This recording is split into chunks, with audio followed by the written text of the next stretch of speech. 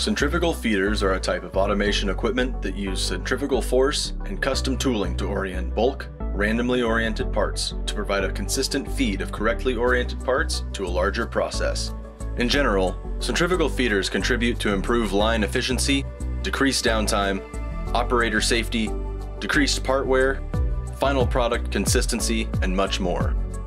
They specialize in processes that call for 200 to 2,000 consistently oriented parts per minute. Centrifugal feeders work by first loading the parts into the center of the bowl onto the central disc.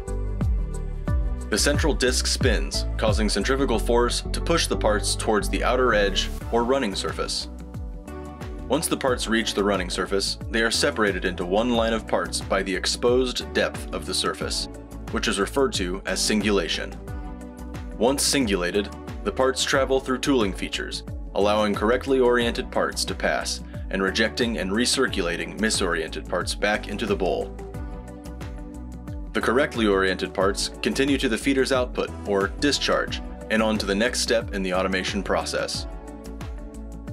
Common industries that use centrifugal feeders are food and beverage, pharmaceutical, consumer goods, printing and labeling, manufacturing, cosmetic, robotics, automotive, packaging, appliances, and much more.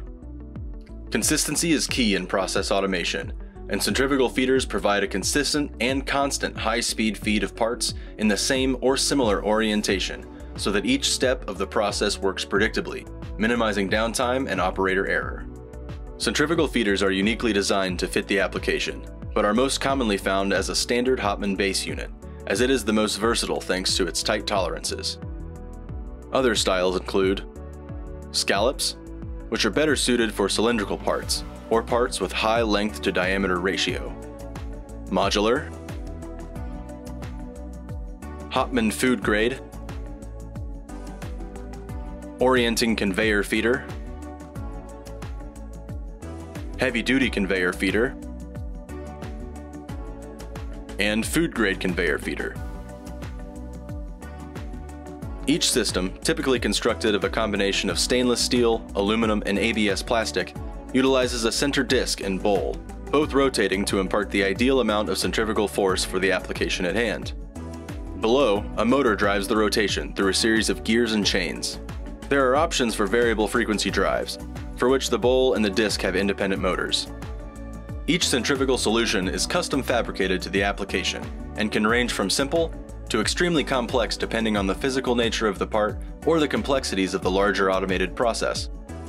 Centrifugal feeders interact with products we come into contact with daily, and with so many variations, it can be difficult to determine what kind of feeder is best for the application. Visit HoosierFeederCompany.com for your parts feeding needs and stay tuned to Feeder University for more in-depth information about the process automation world.